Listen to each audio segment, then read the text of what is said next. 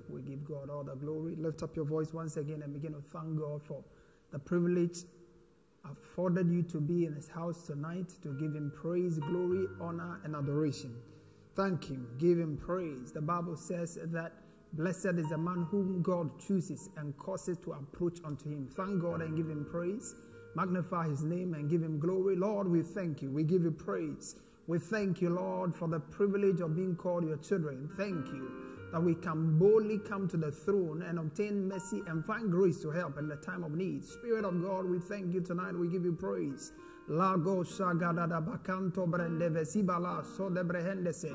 In Jesus' precious name.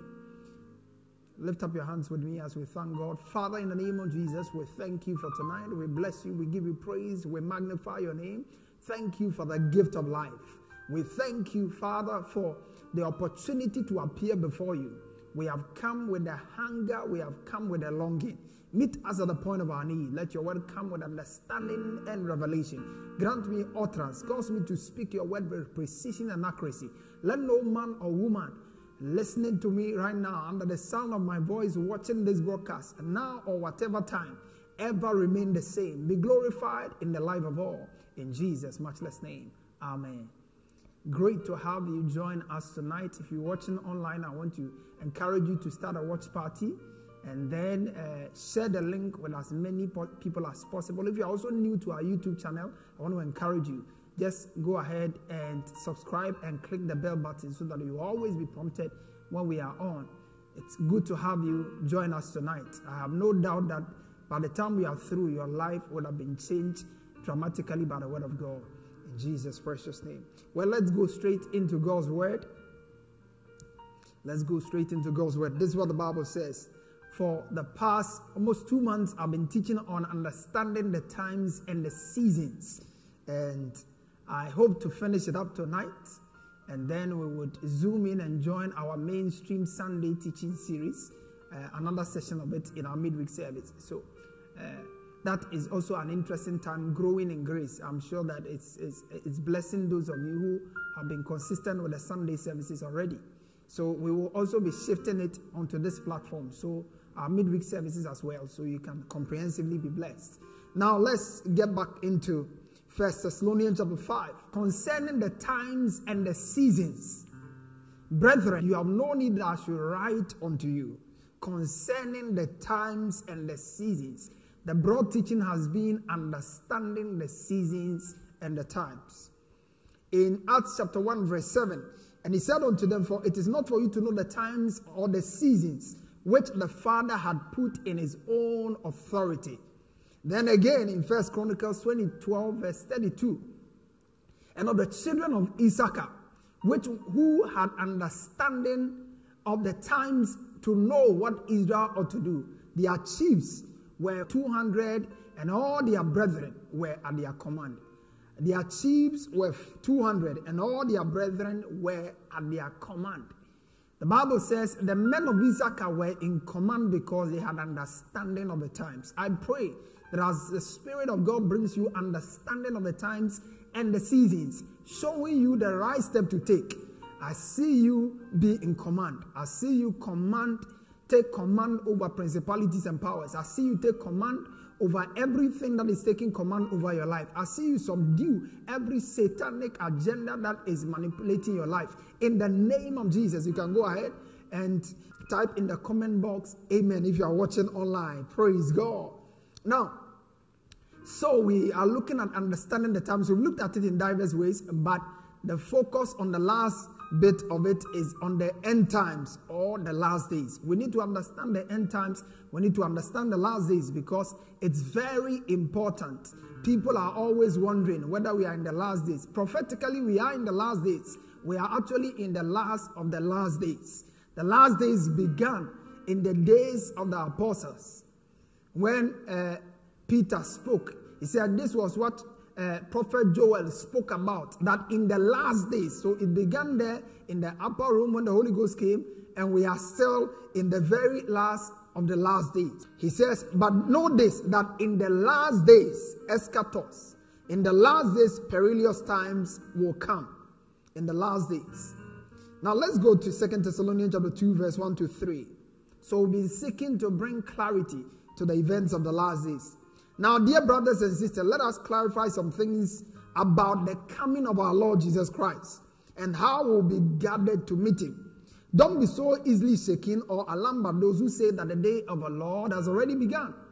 Don't believe them, even if they claim to have, to have had a spiritual vision, a revelation, or a letter supposedly from us.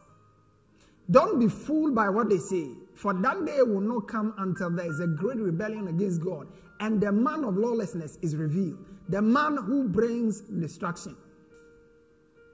So that is Apostle Paul there. So it's important that we are not deceived, and for us not to be deceived, we have to be we have to stick with Scripture, because the Bible says, "You shall know the truth, and the truth will set you free." And the word of God says in John 17 17, sanctify them by thy word, for thy word is truth. So until we know what scripture has to say concerning the event of the last days, we are likely to be deceived by people's revelation, by people's dreams, by people who say, I died and uh, I was taken to hell, and all of those things. Some of them may be true, others may be false. But when we stick with scripture, we can be sure we will always be on the right path. So, concerning scripture, our study has focused on the first and second letter of Apostle Paul to the church of Thessalonica.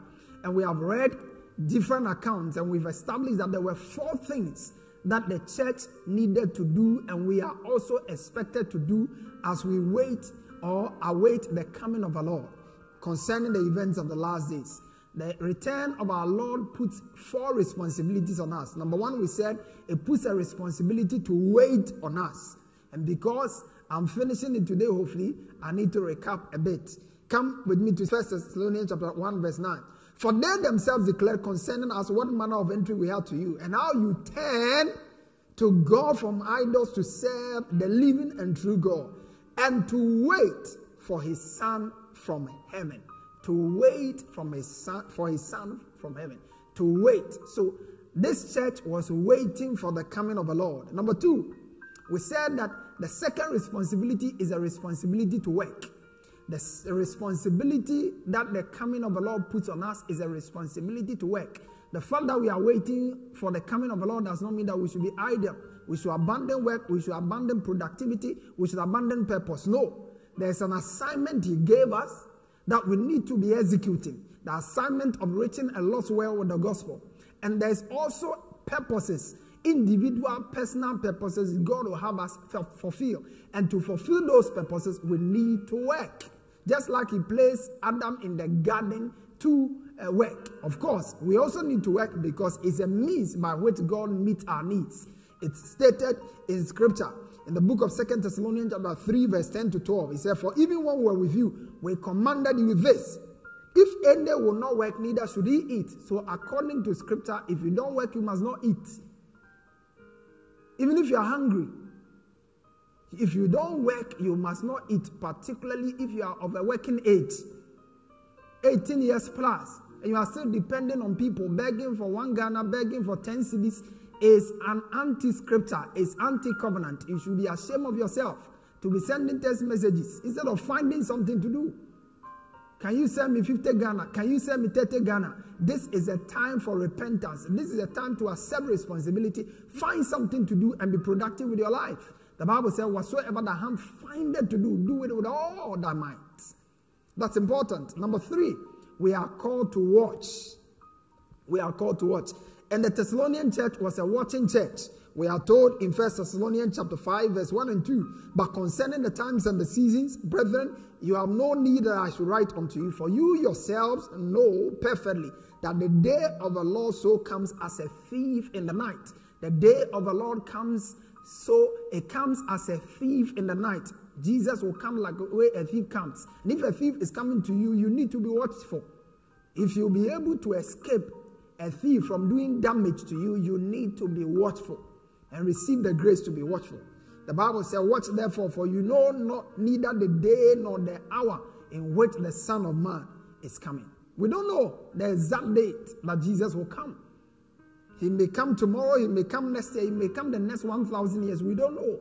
But in every generation we live, every day we live, we have a responsibility to be watching. You must be watching as if it's coming in the next minute. You must be watching as if it's coming in the next second. Be watchful. That's critical. And then, of course, the final bit we want to look at today is witnessing, the call to witness. So there's a call to wait, there's a call to work, there's a call to watch, and then there's a call to witness. Let's look at how the Bible puts it.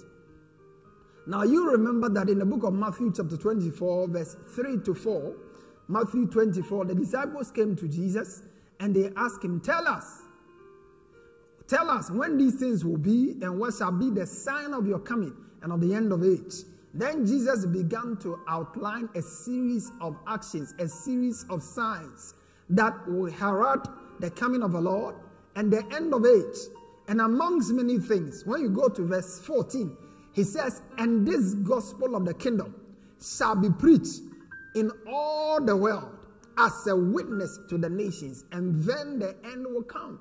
This gospel of the kingdom, this gospel of the kingdom shall be preached as a witness unto all nations, then the end will come. That's a call to witness. Who is going to preach the gospel to the ends of the earth? We. We who are saved, we who have been mandated, we, we who have been entrusted with the gospel. You remember what Apostle Paul said? He said, For though I preach the gospel, I have nothing to glory in. For necessity is laid upon me. Woe is me if I don't preach the gospel. For if I do this willingly, I have a reward. But if I do this against my will, a dispensation is committed to my trust.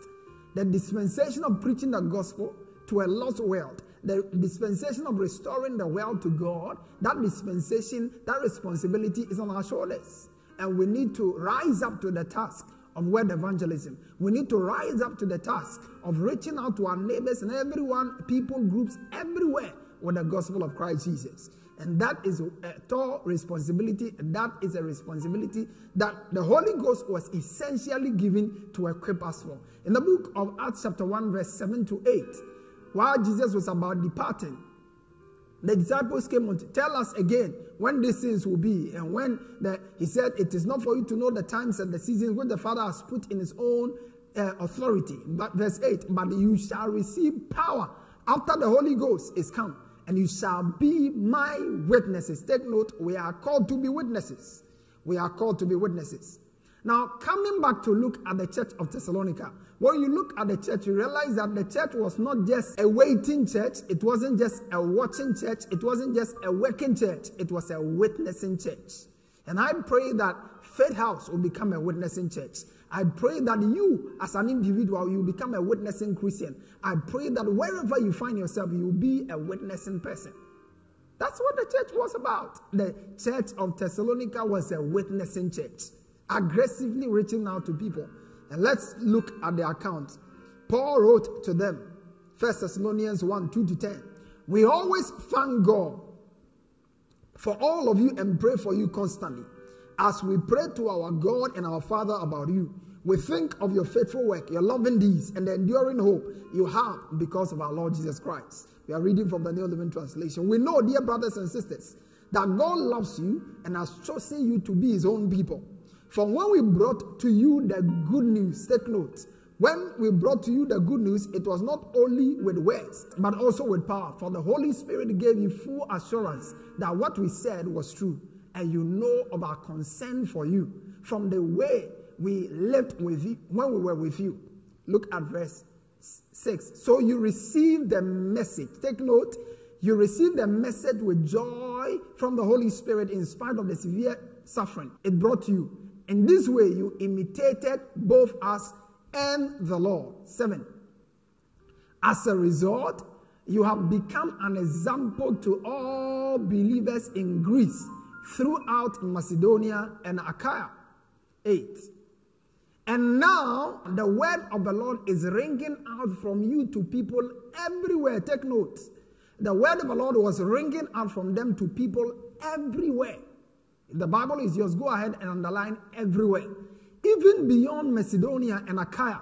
For wherever we go, we find people telling us about your faith in God.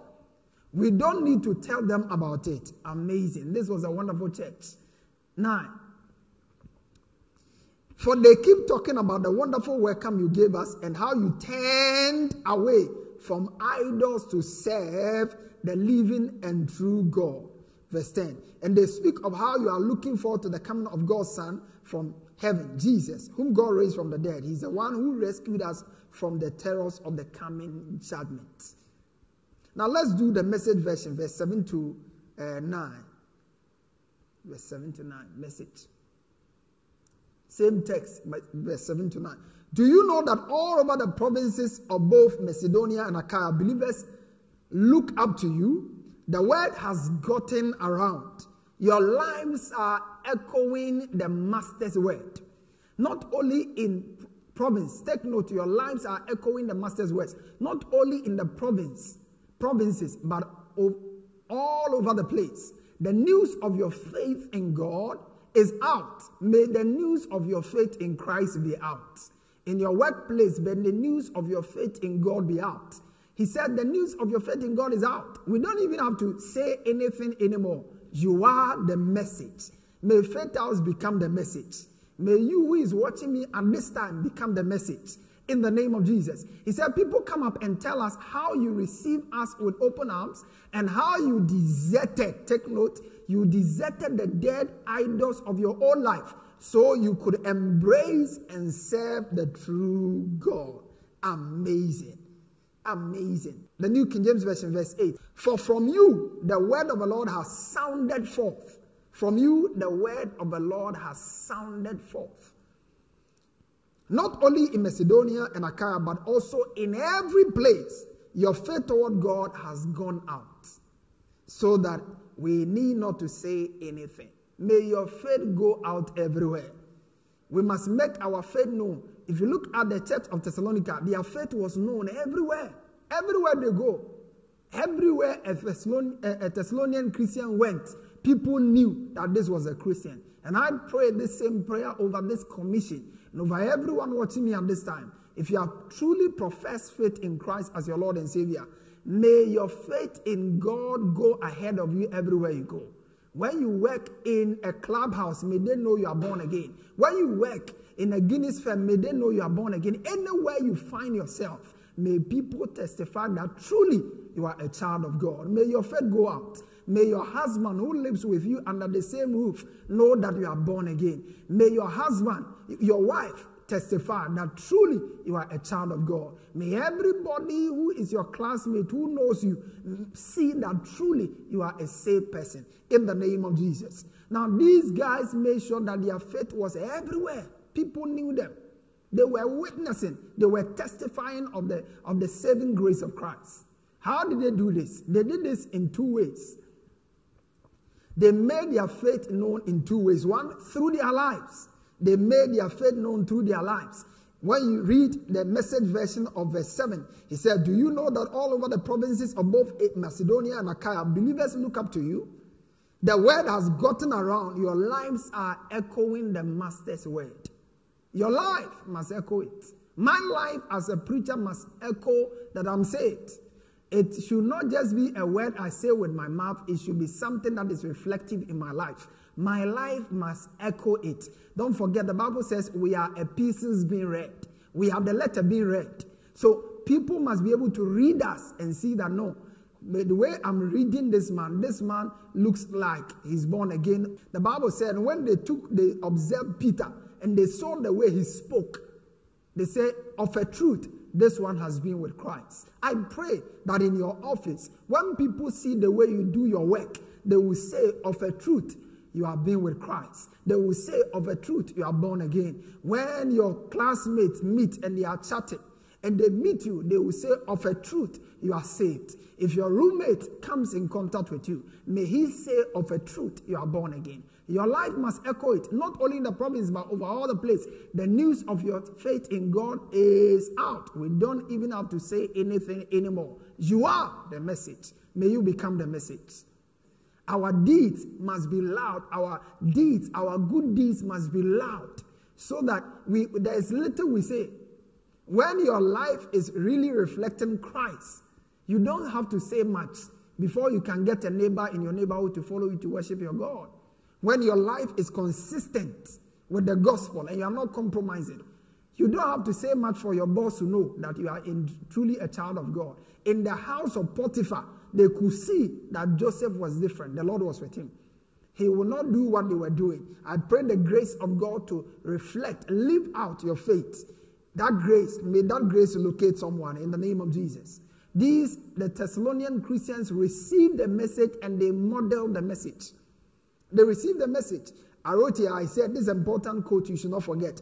We cannot function as effective witnesses if we fail to live out the values and virtues of the gospel we receive. The values and the virtues of the gospel we have received, they must be seen in our lives. The values of holiness, the values of kindness, the values of compassion, the values of love, the values of good works, those values must be lived out of our lives. We can't be professing faith in Christ and be practicing uh, vice on the other side. No, that is inappropriate. I said until our character reflect our convictions, our behavior matches our beliefs, and our fruit become consistent with our faith, we will fail in our calling as witnesses of Christ. May you not fail in our, your calling. The Bible said this is a faithful saying that those who have believed in Christ Jesus must be careful to maintain good works. So our lives. The second way was through their lips. Our lips. We have a responsibility, no matter how much, how well we live, no matter how holy we live. It's important that we understand that we are called to preach the gospel. We are not just called to be witnesses. We are also called to speak out as witnesses. We have to speak. Look at 1 Thessalonians chapter 1, verse 8. New King James says, for from you, for from you, the word of the Lord has sounded forth. The word sounded forth. It has sounded forth. The original Greek word out of which we have the word sounded forth, which is translated sounded forth, is the word. The original word is the word, the root word out of which we get the English word echo. Echo. The word echo comes from the root word of that Greek word ezikataya. That means sounded forth. That means our lives must, our we just echo what God has said. We must know what God has said and speak it. We must know what God has said and speak it. We must speak it forth. We have a responsibility to speak forth the word. Look at what the Bible says. We have a work to do as evangelists. Every born again child of God is an evangelist. You may not function in the office of an evangelist but you are called to do the work of an evangelist. I'm not saying that you are called into the office of an evangelist, but I'm saying you are being called to do the work of an evangelist. Look at what the Bible says, 2 Timothy 4, verse 2 to 5. He said, Preach the word, be instant in season and out of season. Preach the word.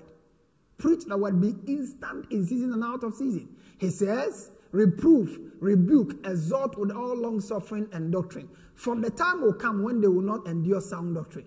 But after their own lust shall they heap to themselves teachers having itching ears. Verse 4, he says, And they shall turn away their ears from the truth and be shall be turned unto fables. Verse 5, he says, Verse 5, But watch thou in all things, endure affliction do the work of an evangelist. Make full proof of thy ministry. When we preach the word, we are doing the work of an evangelist. And I pray that from henceforth, you will preach the word. May your life preach the word. May your mouth also be open to preach the word. You should not be ashamed to speak to people about Christ. No, never feel ashamed. Paul said, I'm not ashamed of the gospel of Christ, for it is the power of God unto salvation. The gospel is power.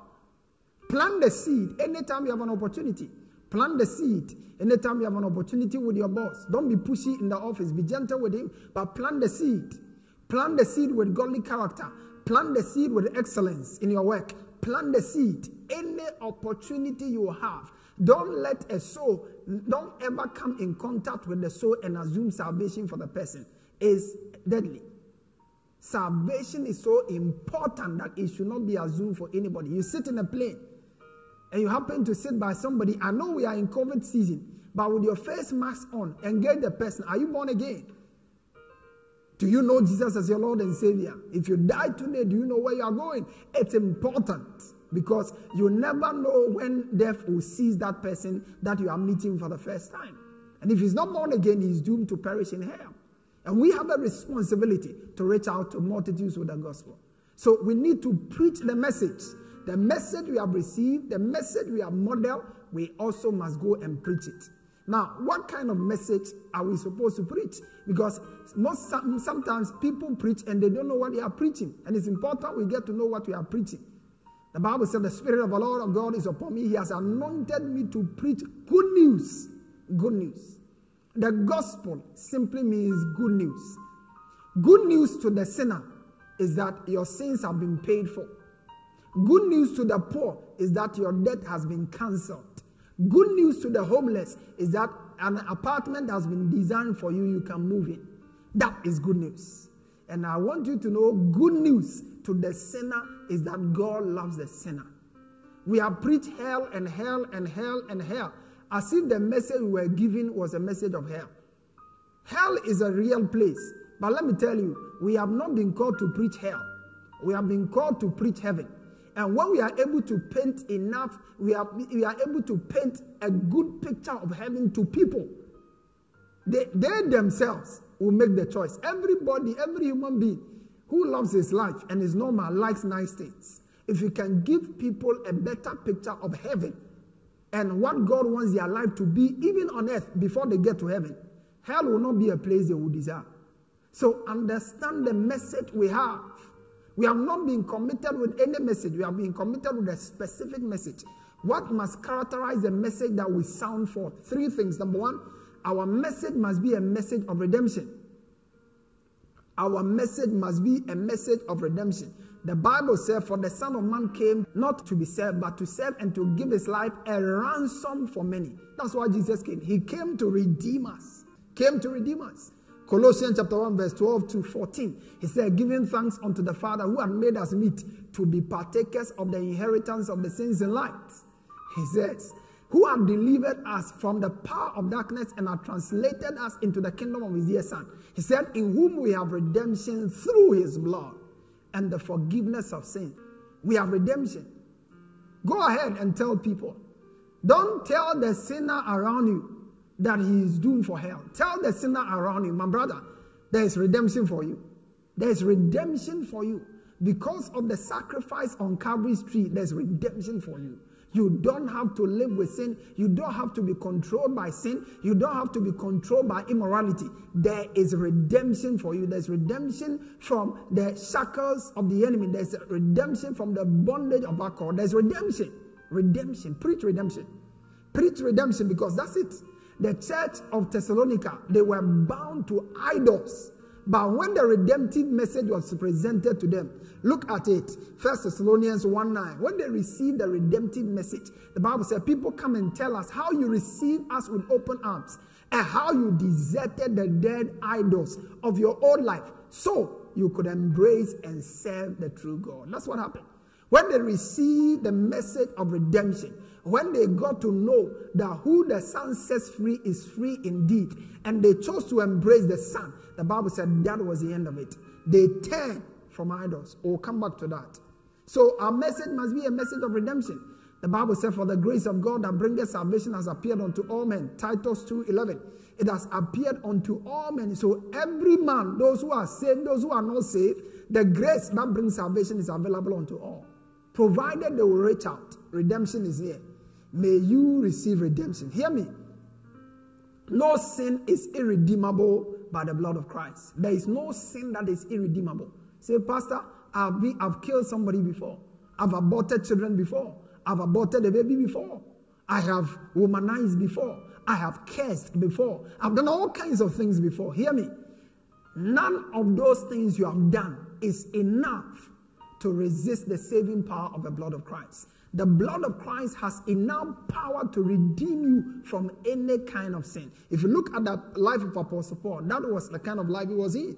He says, I thank God, I thank Christ Jesus our Lord, who had enabled me because he counted me faithful, putting me into the work of the ministry. Look, Apostle Paul began to list all the things about himself. He said, Although I was formerly a blasphemer, a persecutor, an insolent man, but I obtained mercy because I did it ignorantly in unbelief. So, the first message we must preach is a message of redemption. The message of redemption. Number two, it must be a message of reconciliation. Message of redemption, message of reconciliation. The first R is redemption, the second R is reconciliation. Look at what the Bible says, second, second Corinthians 5 18 to 19. And all of this is a gift from God who has brought us back to himself through Christ. And God has given us the task of reconciling people to him. God has given us. He has reconciled us and has given us the task of reconciling people to him. Look at this. For God was in Christ, reconciling the world to himself, no longer counting people's sins against them. Take note of that. And he gave us this wonderful message of reconciliation. Look at how the Bible puts it. I like the message rendition. He has given us the wonderful message. How come people are not ready to receive the message from you? How come when you speak to people, they get rebellious at the gospel? May I submit to you, it's most likely you are presenting to them a false gospel. You are not giving them the message of reconciliation. You are only pointing to them their fault. You are only telling them how awful they look. You are only telling them how bad they are. You are only telling them how worse they are. You are only telling them how how how God hates them. You are only telling them about the wrath of God that is awaiting them. That is wrong message. The right message we have been given to give to our world is a message of reconciliation. What is the message of reconciliation? That God is not counting people's sins against them. God is not angry with man. His anger has been pacified. On the cross of Calvary 3,000 years ago, Jesus laid down his life and that pacified God's anger against humanity. So now all men have access to God, provided they will enter through that access by faith. The gospel is good news. Stop misrepresenting Christ. Stop giving the wrong message about God to people.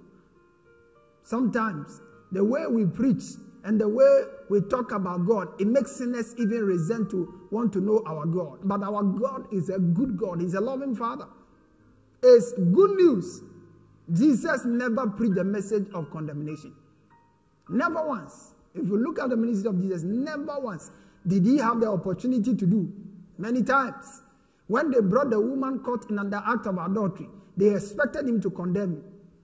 When he spoke to them, they all left. You remember what he said? Neither do I condemn you. Why? Because he knew why he came. Jesus knew the exact reason why he came. In the book of John, chapter 3, verse 16 to 17, John 3 16 is the most powerful and the most quoted verse in the whole of the Bible. For God so loved the world that he gave his only begotten Son, that whosoever believeth in him should not perish, but have everlasting life. Verse 17, he said, For God did not send his Son to, into the world to condemn the world. So you hear people preaching and telling people they are doomed for hell. Listen, hell was really not made for men. Hell was never made for man. Hell was made for the devil and his angels. And because the devil is wicked, he's trying to get people on his side. The same way he got some angels on his side and they rebel in heaven, he's still trying to get people. That's why some people may end up in hell. But it is not the will of God for anybody to go to hell. According to First Peter, God does not want anybody in hell. He wants all men saved. And you and I have a responsibility to tell people about it. Let them know that God doesn't need them in hell. God wants them in heaven. God wants them to have a good life on earth and to enjoy eternity with Him. That's what God wants for man. And that is what we must communicate to people. That is what we must preach. And that message is a message of reconciliation. You remember the prodigal son? He messed up big time. But when he came, his father's arms were open. His father's arms were open. And all of us used to be like that. In our Sunday morning series, we have looked at the natural man and we said that the natural man is all of us. All of us used to be natural men. You are saved now, but you used to be a natural man. And for all of us, that is how we are. Those who are not saved now, they are natural men. And we need to reach out to them aggressively, telling them about the good news of reconciliation. That God wants them back. God wants to reunite with them. God wants to share fellowship with them again. That is good news. Don't you think so? It's good news. It's good news. If you had offended someone and you were running away from the person, and the person sent a message to your phone via WhatsApp or texted you and told you that, listen, all your debts have been cancelled. I just want to have a meeting with you. How happy will you be? That is the kind of message God has given us to give to our world. And from today, I pray that you go all out to preach this good news. When we say we are preaching the gospel, that's the gospel. Of course, in closing, we also need to preach the message of repentance. So our message must be that of redemption. It should let people know that they can be free because God has already made them free. And then it should let people know God is not cross with them. God is not angry with them. God is at peace with them. God wants them in fellowship with Him. God is at harmony with them. God is at peace with them. That's it, what we are supposed to do. And of course, we should let people know they need to repent because that is the doorway. There's redemption, there's reconciliation. What you need to access it is repentance. Repentance. Repentance. Look at what uh, Acts chapter 2, when the Holy Ghost came, Acts 2. And now, when they heard this, they were pricked in their heart and said unto Peter and to the rest of the apostles, Men and brethren, what shall we do? Verse 38. Then Peter said unto them, Repent and be baptized, every one of you, in the name of Jesus Christ, for the remission of sins, and you shall receive the gift of the Holy Spirit. Repent. Say, repent. What shall we do? Say, repent. So now you have heard, maybe you are not born again. If what this, you are watching this broadcast, you are not born again. You are asking me, what shall you do? There's reconciliation for you. There's redemption for you. What you need to do to access it is repent. I'm reminded of the prodigal son story. He left home, messed up, and felt his father will not accept him. So he was actually coming back to the. He said, When I go back, I want to become a servant. He didn't know the plan the father had for him. And most of us, we think God is angry with us. God is not angry with us. We are we may have messed up our lives, but God is still ready to accept us anyway, anyhow. That was the prodigal son. But they had to do something in order to be restored. There was reconciliation for him, there was redemption for him, but he needed to do something. And that thing he did. He said, I will rise up and I will go back to my father. And I will say to my father, I have sinned against heaven and against you. Today, you have watched this broadcast and you are in the same place the prodigal son is now. Maybe people have, religious people have misrepresented the gospel to you. You felt that God was angry with you. You felt that God hated you. You felt that you are beyond redemption. Today, through God's word, you have come to see that there's redemption already available. There's reconciliation for you. The only thing you are expected to do is to repent. What sin should you repent? Just is it the sin I did yesterday? You have to, everybody is born a sinner. Everybody born, maybe you say, I've never done any sin. It's true. But once you are born by man, you are, you are born a sinner. So you need to repent. So this minute, before we get into the communion, I want to give you the opportunity to acknowledge Jesus as your Lord and Savior. Because that way, you can be raptured, you can be, uh, you, you can become a part and parcel of God's kingdom. Then you are well placed to wait, you are well placed to work, you are well placed to watch, and then you can also begin to witness like we are doing to you. I want to pray with you if you are ready to make a decision for the Lord, repent from your sin, and embrace His redemption and re- embrace His reconciliation. Bow down your heads if that is your decision now. Bow down your heads. Say this after me, Lord Jesus. I thank you for the privilege of hearing your word. Thank you that your spirit has made me aware of who I am. I'm a sinner in need of your grace. I admit you this moment that you are my Lord and my Savior. I confess with my mouth, believing in my heart that you died for me. Thank you for saving me and making me your own. I receive grace to live for you and to reach others for you. In Jesus' much less name. If you pray that prayer in faith, I'm glad to let you know you are saved. I'm happy to hear that you are made, you have made that decision. We want to reach out to you and help you in your walk with God. We want to guide you, teach you, and help you to be able to advance in your walk with God. Send us a WhatsApp, uh, send us a mail, Give us a testimony, and so we can reach out to you and follow up on you. The Lord bless you as you do so. The numbers are on the screen. You can make use of any of them and reach out to us.